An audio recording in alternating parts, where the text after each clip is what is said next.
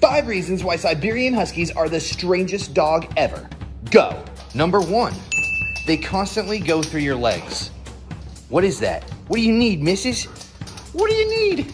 Number two, they always want to go on a walk, but they never want to put on a harness. Let's get the harness out. Who's ready to go? Where, what? Where'd you guys go? What's wrong with the harness, dude? Number three, they go bonkers when you buy them a brand new toy.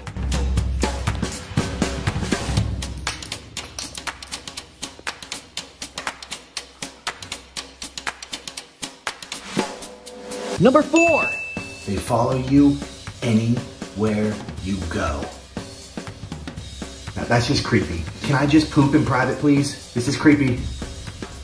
number five, they know how to speak English. That was so good.